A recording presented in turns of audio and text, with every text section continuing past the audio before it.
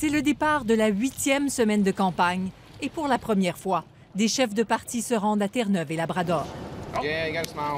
Si ça leur a pris du temps, c'est que ce n'est pas ici que la pêche au vote rapporte le plus. Pour le chef du NPD, jouer la carte du meneur vient avec un prix. Ses adversaires fouillent son passé.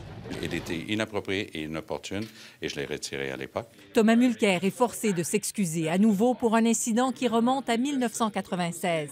Un candidat libéral lui a reproché d'avoir alors utilisé le terme Newfie à l'Assemblée nationale.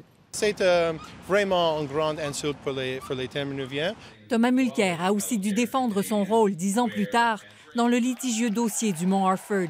La presse cite une de ses anciennes collègues du gouvernement Charret qui affirme que le chef du NPD était à l'origine favorable à la privatisation de la montagne. J'ai refusé de signer le décret. J'ai quitté le Conseil des ministres en me tenant debout sur cette question de principe. À cela s'ajoutent des déclarations récentes faites aux coulisses du pouvoir sur la nouvelle loi antiterroriste qui font aussi réagir ses adversaires. Il n'y a aucune mesure dans C-51 que vous trouvez qu'il faudrait garder en ce moment? Aucune. Aucune. Mes adversaires choisissent ou bien de miser sur la peur euh, des terroristes ou bien sur la peur euh, d'un État policier. Euh, c'est irresponsable. Justin Trudeau était d'ailleurs à Halifax pour présenter son plan d'acquisition militaire.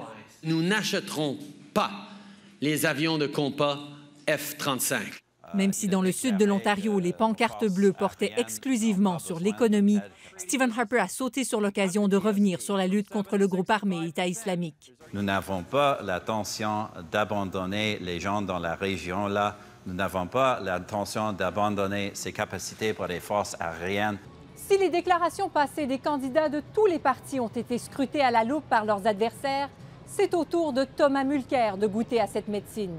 Il reste maintenant moins d'un mois à cette longue campagne. Il semble bien qu'elle pourrait se corser. Ici Madeleine Blémorin, Radio-Canada, Ottawa.